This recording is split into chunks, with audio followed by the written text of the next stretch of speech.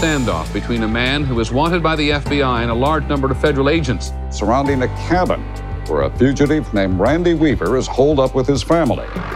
In 1992, a bloody standoff between lawmen and an armed white separatist named Randy Weaver left his wife, 14 year old son, and a federal agent dead. The 11 day siege at a place called Ruby Ridge, Idaho. It happened before Waco, and for many, it's an even bigger rallying cry. I want the truth! You've got the OK Corral. You've got certain moments in the history of American law enforcement where society says, wait a minute, we got to take a look at this in a different way.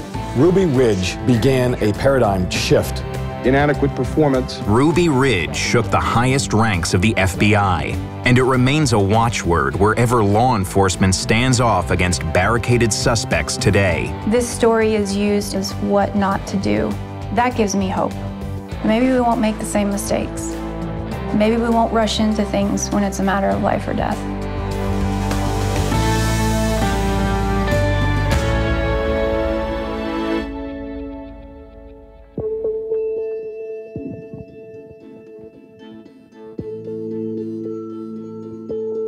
I thought they were chasing down a moose or a bear or something, honestly. I had no clue that there were people with guns in the woods that day.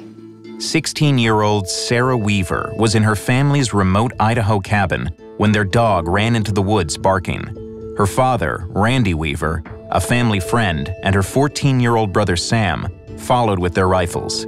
The next thing she heard was an explosion of gunfire. Everything in me wanted to run down the hill and try and, you know, protect my brother because I knew he was down there and I'd always been his big sister. I'd always been his protector.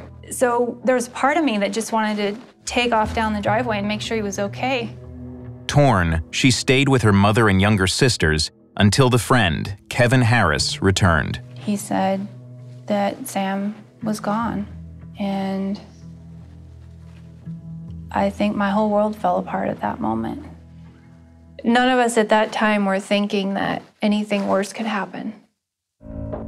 But unbeknownst to Sarah, U.S. Marshals had been staking out her parents, who were vehemently anti government, for months. Her father had fled charges of selling two illegal shotguns, and her mother had indicated they wouldn't surrender without a fight. When the dog uncovered the Marshals' location, an agent shot it, and a gunfight ensued that killed 14 year old Sam Weaver and a deputy U.S. Marshal named William Deegan. I can't speak for everybody on my team, but I assumed I was walking into a violent situation and there was likely to be a shootout. Scores of federal agents quickly descended the next morning. As sharpshooters like Chris Whitcomb took position around the cabin, they were under an unusual order. If any adult male is observed with a weapon, deadly force can and should be employed. The entire world for someone in my position at that time is this big around. You don't see the larger circumstances. You don't see the larger picture. You just see the world through a scope. Dad was wanting to go see Sam one more time and just, I guess, do some more grieving, say goodbye, I don't know. And so I took off after him, and he made it around the shed ahead of me. The people that I saw with assault rifles were moving from tree to building to woodpile through fog. Uh, I didn't have the shot. My finger was on the trigger. I was trying to take the shot. I didn't have it. I just heard a giant boom. I said, Dad, what happened? And he said, You know, I've been shot. And, you know, at this point, my mom had stepped out of the door and she was screaming, What happened? What happened? And get in the house, get in the house. And we all get piled up in front of the door. And I hear what goes, I hear what is like a gunshot going off in my ear. And a mom just drops to my side. I knew I knew what had happened to her immediately. I thought it was the end for all of us at that point. Sarah's mother, Vicki took a fatal shot to the head as she held the family's 10 month old baby in her arms. But outside the cabin, no one was aware Vicki was dead, and agents kept trying to negotiate with her. When they got on the bullhorn and started asking for mom to come out and have pancakes for breakfast with her kids and wouldn't you want to do that with your children, sort of thing.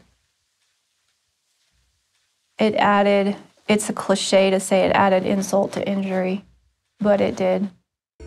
As news of the standoff spread, journalists converged on the scene. Two people have already died. Neither side seems ready to back down. The FBI says they will not leave until Weaver and his friend Kevin Harris, who lives with him, are in custody. Everyone here in Naples agrees that Weaver is a white supremacist who just wants to be left alone.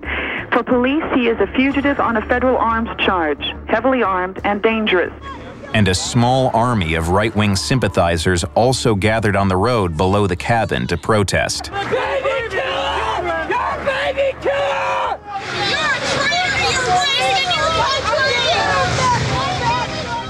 The Weavers held out for a total of 11 days. After Vicki was shot, they believed they'd be killed if they stepped outside. The standoff ended only after Bo Gritz, a right wing presidential candidate sympathetic to the Weavers' cause, negotiated a surrender. Our camera caught a glimpse of the family walking into the staging area. The girl, one of the girls, is wearing a red jacket at the bottom of your screen. When I got to the meadow, it was a scene out of a movie. It was inconceivable to me to think that they would need so much and so many people and and tanks and helicopters.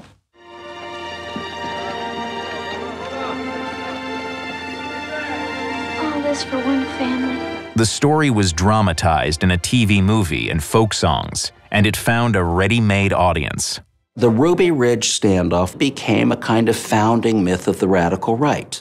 It not only made the government look bad, it was bad people, whatever views they have, whatever illegal activities they have, should not be shot down by government snipers when they are not actively threatening the life of somebody. Later investigations revealed that law enforcement had made a series of errors. Authorities on the ground communicated poorly with agents arriving from afar, which exaggerated the threat Weaver posed, and agents on the scene failed to negotiate or set up a clear line of communication with the family until it was too late. In the end, jurors decided Randy Weaver's most serious crime was failing to appear in court. And then came accusations that the FBI had attempted to cover up its mistakes. The FBI is feeling the heat. During Weaver's 1993 trial, another FBI standoff ended in tragedy and accusations of misconduct. 76 members of the Branch Davidian religious sect died in a federal raid on their compound in Waco, Texas. There are eerie parallels with Waco. In both cases, government miscalculation in the arrest of a fanatic ended in gunfire and death. The radical right uh, views itself as being in a, a battle to the death with the federal government. Ruby Ridge, for them, was the opening shot of that war. Critics complain there was no real investigation and no real punishment after the 1992 incident. It's now clear their voices have been heard. Amid intense federal scrutiny of the Ruby Ridge scandal, the FBI's number two man was demoted, three other agents were suspended, and one was sent to jail. And the Weaver family won a $3.1 million settlement from the federal government. Law enforcement typically changes not because someone has a brilliant idea. We change because we're sued, or there's public opinion that speaks against us. And we realized we had to change, we had to do this better.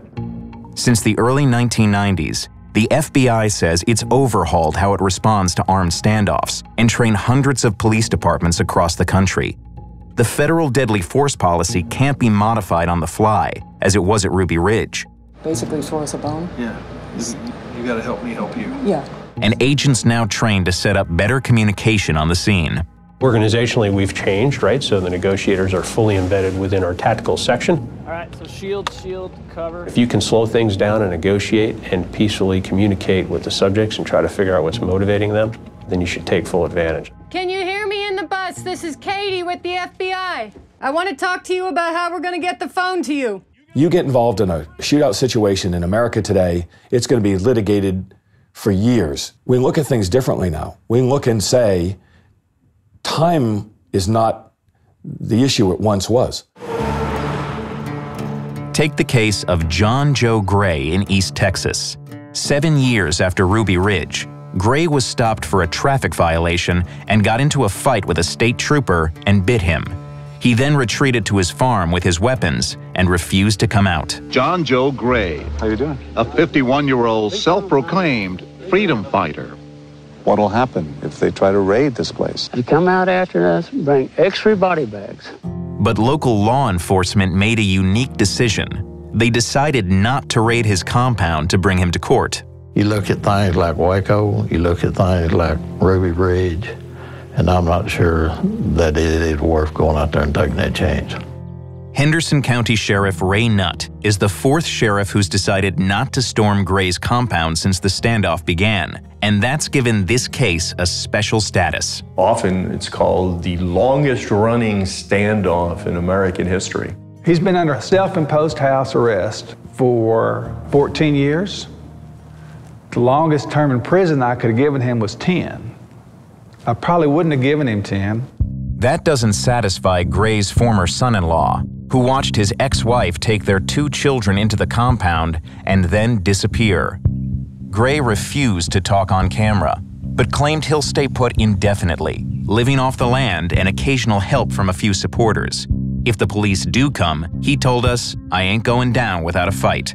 So far, the battle has remained oddly one sided. This is more of, I don't know, a lounge off because everybody's just kind of chilled into what it is. This isn't going to end until John Joe Gray passes on. It's not a perfect outcome to have somebody thumbing their nose at a lawful court order, but in the respect that nobody was killed, it's an acceptable outcome for me. In the two decades since Ruby Ridge, Sarah Weaver bought a small acreage in Montana with a portion of the settlement money, distanced herself from her father's beliefs, and made peace with the past. It's not easy being a Christian. Forgiveness is an ongoing choice and an ongoing process. I'm forgiving the people that showed up with tanks and guns and armored personnel carriers, and I'm forgiving the ones that pulled the trigger. I'm forgiving the ones that sent the orders. Forgiveness is not saying what happened is okay, because I believe if we forget those mistakes, they, they can be repeated.